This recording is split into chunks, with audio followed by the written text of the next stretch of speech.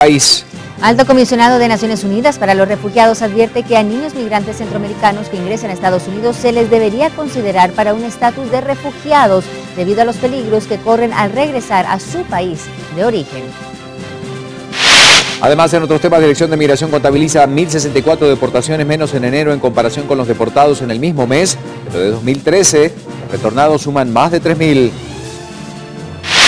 Cuerpo de universitaria Noemi Lara Orellana es exhumado y con ello los cuerpos de los tres jóvenes fallecidos en Izabal serán revisados para tratar de encontrar respuesta a las muertes que ocurrieron en el 2012 bajo un panorama lleno de intriga. Sigue la información a esta hora de la mañana para contarles que 1.033 cámaras de vigilancia fueron ubicadas en los puntos más peligrosos de Misco para monitorear hechos delictivos. Con esta acción las autoridades esperan que reduzcan los incidentes violentos que azotan el municipio. Vecinos del municipio de Cajolá, en Quetzaltenango, se presentan ante el Ministerio Público para poner una denuncia contra el jefe edil, Mario Mencho. Los representantes del Comité contra la Corrupción piden que se investigue por supuesta sobrevaloración de obras. Partido Patriota corre riesgo de quedar fuera de la contienda política si no cumple con la realización de asambleas que por ahora no pueden realizar, siguen suspendidos por realizar campaña anticipada. El Banco de Guatemala augura un año electoral con indicadores macroeconómicos bastante positivos, considerando que el proceso electoral y el gasto de la campaña inyecta la economía del país, según un estudio realizado por la Cámara de Comercio.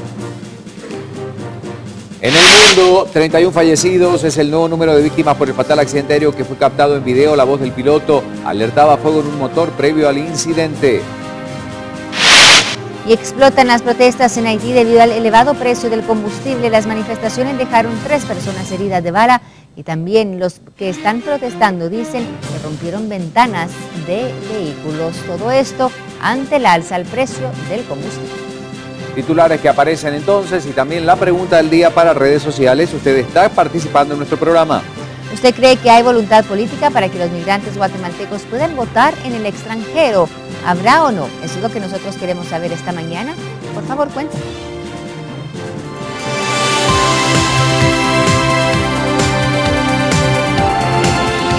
Bueno, muchas gracias por empezar con nosotros esta mañana. Tenemos el repaso más completo de las noticias e iniciamos de inmediato con la información. Los niños centroamericanos que llegan a Estados Unidos de manera ilegal podrían ser acogidos como refugiados. El alto comisionado de Naciones Unidas para los refugiados, ACNUR, ha advertido que miles de niños podrían acceder al estatus de refugiados, pero si son deportados a sus países de origen, pueden sufrir de nuevo las amenazas de las pandillas. Comenzamos con el reporte informativo hasta ahora. La llegada de casi 70.000 niños solos a la frontera con Estados Unidos el año pasado, en su mayor parte desde Honduras, El Salvador y Guatemala, generó una polémica en Washington sobre cómo manejar una crisis que el presidente Barack Obama calificó de una situación humanitaria urgente. Muchos niños realizan el peligroso trayecto desde América Central, una región con la tasa de asesinatos más alta del mundo a través de México hacia Estados Unidos, para escapar la desenfrenada violencia de pandillas en casa.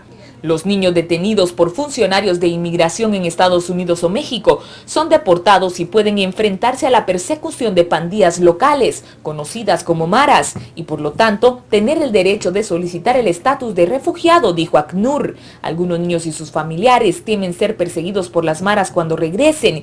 El interés es que los niños sean adecuadamente entrevistados antes de ser deportados, declaró el presidente regional de ACNUR para América Central. Entre enero y septiembre del 2014, México deportó a 6.623 niños a Honduras y Estados Unidos, a 564 con familiares al país centroamericano, según el Instituto Nacional de Inmigración hondureño.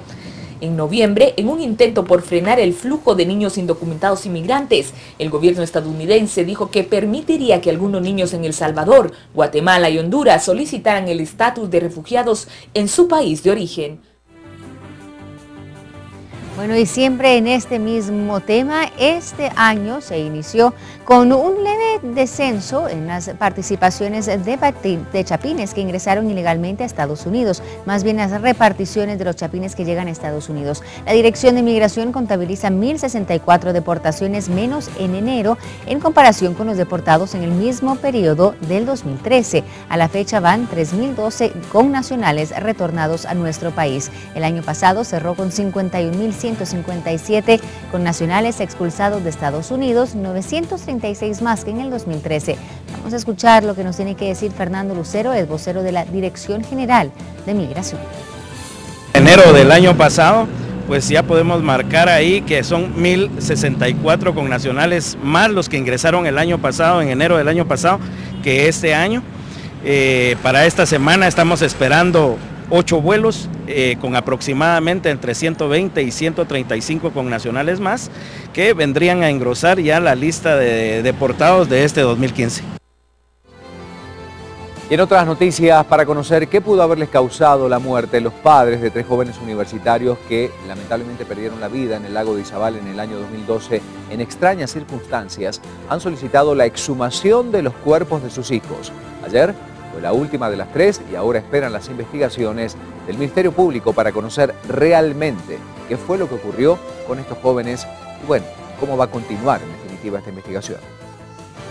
El cuerpo de la universitaria Noemí Lara Orellana fue exhumado. Ella junto a Ángel de León y Carlos Velázquez murieron en marzo de 2012 en el lago de Izabal. Desde el año pasado, los padres de los jóvenes han solicitado que se les practique una necropsia post-mortem para averiguar qué otras circunstancias pudieron haberles causado la muerte. Inicialmente nos hicieron las cosas pertinentes a, a lo que fueron, lo que se debió hacer desde un principio. Entonces por eso es que estamos luchando nosotros con todo este procedimiento para que se aclare y, las evidencias marquen lo que realmente pasó ese día. Cuatro meses después de la muerte de los universitarios, los padres de Carlos Velázquez solicitaron al INASIF una ampliación de la necropsia. Esta reveló que se había omitido en el dictamen que el joven presentaba un golpe en la cabeza. Fue ocasionado con un objeto romo sin punta, con, con una energía cinética muy fuerte, es lo que dice el informe que no le causó la muerte, pero que sí le causó inconsciencia. El día que ocurrieron las muertes, los jóvenes se encontraban en compañía del biólogo Alfredo Valle Alvisures. Está siendo acusado primeramente ahorita por homicidio culposo. Eh, el Ministerio Público ha realizado todas las investigaciones que sean eh, tanto solicitado por los creyentes adhesivos para poder establecer de alguna manera eh, los hechos. Bueno, y el presidente del organismo legislativo, Josué Baquiash, afirmó que conocen de la solicitud de antejuicio planteado por la Comisión Internacional contra la Impunidad en Guatemala, esto en contra de la jueza del ramo penal Gisela Reynoso, acusada de enriquecimiento ilícito. Baquiash afirmó que él no puede adelantar criterio y espera que todo el proceso se lleve en el marco de la imparcialidad. Vamos a escuchar lo que nos dice el presidente de la Corte. La labor de CICIG pues es apoyar al Ministerio Público en la investigación. Por lo consiguiente, pues em, es, esto refleja, ¿verdad?, que eh, la CICIG este, está coadyuvando con el Ministerio Público en las investigaciones. Confío, en este caso, en las investigaciones, confío en el quehacer de los jueces y magistrados quienes actuarán en ese proceso para que se resuelva con equidad. Con cámaras de vigilancia, las autoridades esperan reducir los índices de delincuencia y criminalidad en todo el país. Las primeras fueron ubicadas en Misco y se espera que otras se puedan colocar en la ciudad, en Villanueva y también en Escuintla. Insistimos, el sentido fundamental, mitigar los efectos de la violencia en el país. 133 cámaras de vigilancia ubicadas en los puntos más peligrosos de Misco serán monitoreadas desde la comisaría 16. Con esta acción, las autoridades esperan que hechos delictivos se reduzcan con la pronta acción de las fuerzas de seguridad. El centro de monitoreo cuenta con 44 estaciones de trabajo, en las que 40 agentes de la Policía Nacional Civil deberán vigilar las cámaras y dar aviso de cualquier eventualidad. Hay unas cámaras que tienen movimiento, que tienen rotación y además de eso tienen un acercamiento muy fuerte. Eh, hay otras cámaras que son fijas y hay otras cámaras que tienen la capacidad de leer las placas. Bajo fuertes medidas de seguridad, el presidente Pérez recorrió zonas de Misco para verificar el funcionamiento de las cámaras. En otras ocasiones, esos aparatos han sido destruidos por grupos criminales, pero de darse esto, la empresa contratada las puede reemplazar. Vecinos de Misco esperan que con este proyecto puedan tener más seguridad. todavía hace falta mucho por hacer. ¿Verdad? Porque la, delincuencia sigue en los sectores, por ejemplo, de la comunidad, ¿verdad? En la zona 6 de Misco. Siempre está uno en riesgo, realmente a hacer, eh, pues, afectado por la, la violencia, ¿verdad? Que tanto como las amenazas naturales también están las amenazas sociales que afectan a la población. En total son 5.000 cámaras alquiladas por un monto de 1.200 millones de quetzales para un periodo de 5 años y que además de Misco cubrirán Villanueva, Guatemala y Escuintla. En otra información, inició el juicio contra dos mujeres acusadas de plagio y secuestro. A ellas, el Ministerio Público las indica de ser las presuntas responsables del robo de una bebé ocurrido hace un año en la colonia reformita de la zona 12 capitalina. Las dos mujeres se declararon inocentes del secuestro de la menor y de este hecho cometido un 11 de febrero. Una de ellas afirma que trabajaba en oficios domésticos en esa vivienda y que vio a la menor en la vivienda de su patrona. Sin embargo, no le dieron explicaciones de qué hacía esta misma en la casa. La otra acusada afirmó que ese día tuvo una emergencia médica con uno de sus hijos y tuvo que prestar un vehículo para trasladarlo a un centro asistencial. Sin embargo, en apariencia, la persona que le prestó el carro le dijo que le encargaba a la niña que iba en el vehículo. Sin embargo, nunca más lo volvió a ver. La madre de la menor en su declaración afirmó que fueron dos hombres quienes le arrebataron a la niña de sus brazos, mientras una mujer en apariencia que conducía el vehículo donde se la llevaron.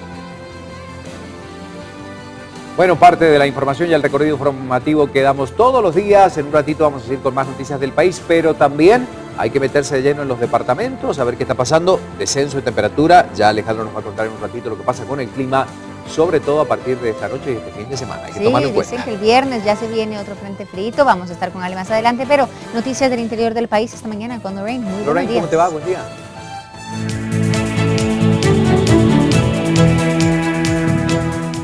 Por supuesto, compañeros, buenos días. La información departamental también es importante y ponemos en pantalla prensa libre.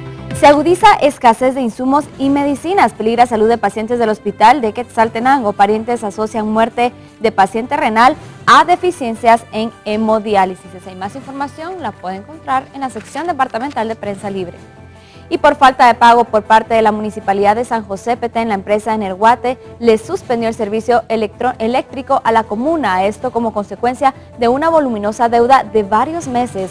La energía eléctrica fue suspendida desde el fin de semana y es debido a una deuda en facturas de hasta seis meses. El alcalde de San José Petén, Gustavo Tezucún, indicó que todo se debe al recorte presupuestario que sufrió la municipalidad y que el servicio ya fue restablecido. Previo a la suspensión personal de Energuate, indicó que en reiteradas ocasiones se intentó dialogar con las autoridades municipales, pero no fueron recibidos por el jefe edil. Información departamental en Viva la Mañana. Continuamos con más.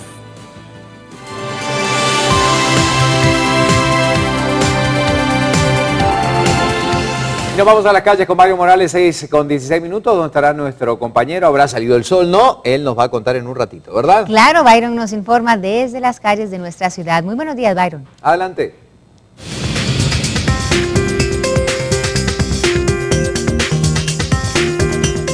Mario, buenos días, bienvenido a Viva la Mañana, ¿cómo te va? ¿Dónde estás ubicado?